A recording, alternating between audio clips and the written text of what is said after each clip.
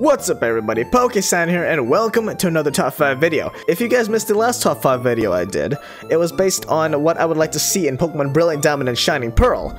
However, in this top 5, we will be discussing what I think to be the best towns and cities in every Pokemon game. Now, you may not agree with my opinion, and that is completely fine, as this whole list is opinionated, formed by my own opinion, and I do not mean to push this as fact or as superficial, but it is my own opinion. So, Hope you guys can keep that in mind, and if you have any disagreements, please feel free to comment down below, uh, and I'll be sure to read them. Also, if you have any other top 5 ideas that you would like to see me do, then please list them down there as well, as I would greatly appreciate any and all feedback. But with that said, let's go on with it.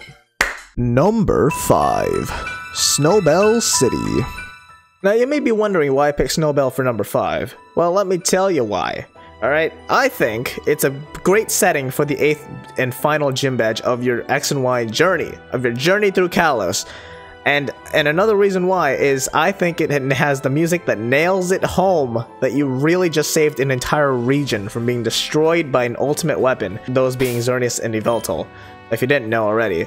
So, it really nails that factor home, and it's a really nice place to end off your journey. The, mu the music makes you feel ultra triumphant, that you just that you just saved an entire region or possibly the entire world and it just it just is a nice way of just like it's the calm after the storm basically is what it is. And uh, i mean even though it's like it's a snow-filled city what am i saying? Calm after the storm. And i'm uh jeez. But regardless, it really has the feeling, and uh, like it's just the feel of the city is really nice as well. Really quaint, you know, really really homey feeling type type of city. And it really has like it's a similar feel to like stuff like snow point city right? It's the same thing. And i just wish that we had more more snow filled cities more in pokemon. So, stuff like that would be so unique. It, it would set a city so far apart from the others that it would honestly just be a great highlight. And snowbelle city is a great highlight of x and y. Number four Pyrite Town. This is this is kind of making me laugh thinking about it. But before you say anything, hear me out. Okay, number four is Pyrite Town. Now, uh, you a lot of you not, may not even know what Pyrite Town is. To be fair, uh, because if you're if you're just keeping up with the main series of Pokemon, you will never know what this is. However, it's a great setting, um, and let me tell you why, alright? I personally think that the the, the Orre games, uh, those being Colosseum and XD Gale of Darkness, are heavily underrated. And if you and if you have a chance to play it, you really should, because those games will present you in a different will present Pokemon in a, in a different light, in, in more ways than one from what just the normal like main series presents. Because those games are not afraid to delve into like more like more darker topics and i feel like that is a good way to really express pokemon as a whole because you see pokemon everywhere and you think happy-go-lucky right happy-go-lucky like nothing bad's ever going to happen because the main character's always going to take care of it but no, in XD Gale of Darkness, that almost doesn't happen. And so I like the the darker tone of this of those games because it really kicks it in that they can do that type of thing, but they don't. But anyways, let me get back to why I like Pyrite Town. Uh, I like Pyrite Town because it, it really like nails in the the the sort of grittier feeling of those games, right?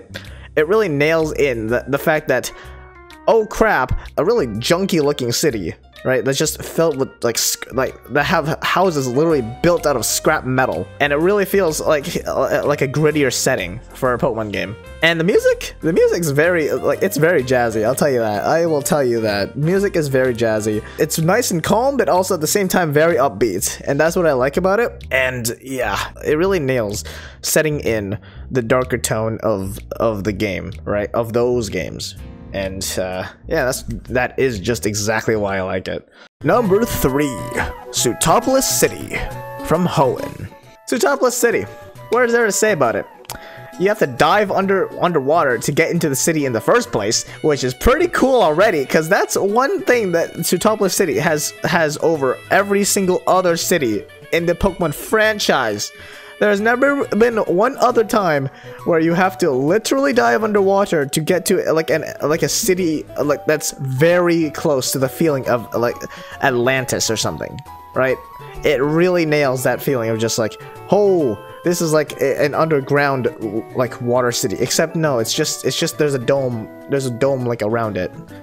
It's kind of funny how how many people just don't notice that. However, it's a, it's a great setting for like the final the final I guess the final climax or just a setting for for the climax of the game where you have to fight Kyogre, Groudon, or Rayquaza. Uh, well, not really fight them, but you like you encounter them and they're doing their thing, and then Rayquaza comes down in the sky if you're playing Emerald. Rayquaza just comes down and just just dispels everything immediately, which kind of threw it off to be honest. But like it was better it was better done in Ruby and Sapphire obviously because you had to fight them in the Cave of Origin. And the music is very nice too. It's like once once that whole thing clears up, it's the same thing as Snowbelle City. It's just you feel that you've just dispelled an entire thing from ever from from really happening. The music really sets in the tone when when everything is all said and done, right? Because it it just gives you the feeling just oh crap, I saved the world from from from overflooding or just being desolately dry. I am not going to lie. It is a very cool theme, and it really sets in that that's the last destination for the last gym badge again. And it it really just does wonders for for for the locales of Hoenn. I mean, yeah, it has a lot of water, but I don't know. It has that, that pirate feel to it. I don't know. I don't know how to really describe it. Let me know in the comments down below if you agree with that. Uh, I think that it has like a really sort of piratey feel to it. Like um, you're out on sea type of feel. That really adds up to the reason why I, I like Sootopolis as much as I do. Number two, Opelucid City.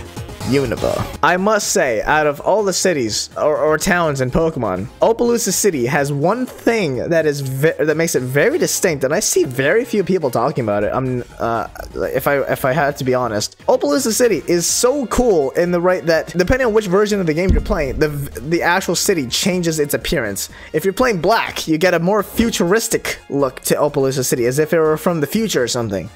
And if you're playing white, you get this sort of very historical feel to it that it just it looks old but at the same time it looks really refreshing uh, like it was in the past or something. And not only does the appearance change the music does as well and that's what i like about it so much. There's two ends of the city that's just that are just on the opposite sides of time. You get one that is super futuristic and then one that is super historical and old but they both work so well together. It's like two sides of the same coin, basically. Could you imagine playing black?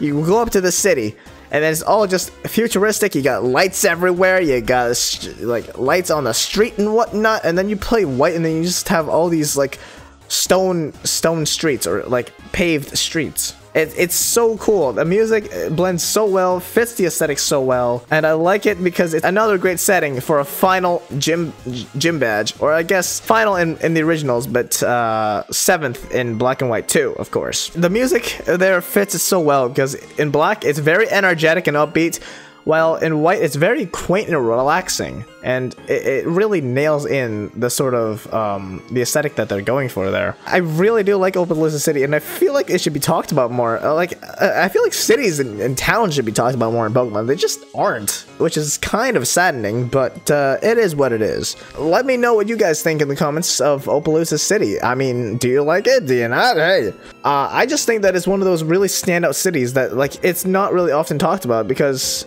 it, it's I, I think anyways uh, i don't know if it is or not but um yeah no i just really like Opelucid City for what it is, for what it stands for, and it's just, it, I really wish they would do this uh, concept more often with two ends of time or something, or just something that looks completely different, like what they did in Sun and Moon with like the Ultra Wormholes and whatnot, because you got to see a different version of Hau'oli. When you go into Guzzlord's world, that was a different version of Hau'oli. Those are the reasons that add up to why I like Opelucid City so much. Now, before we get into the number one pick of this top 5, I would like to give out some honorable mentions. These were cities and towns that I had heavily considered, but I just couldn't really put them anywhere. They're just so far up there. I like them all so much, I just did not know where to put them. So, for our honorable mentions, we have Ballonlea from Galar in Pokemon Sword and Shield.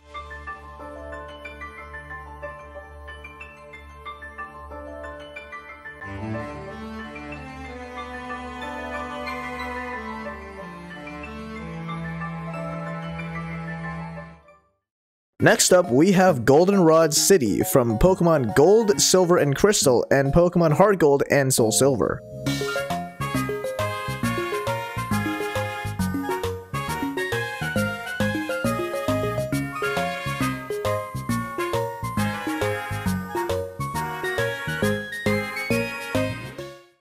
And our last honorable mention goes to Sunyshore City from Pokemon Diamond, Pearl, and Platinum.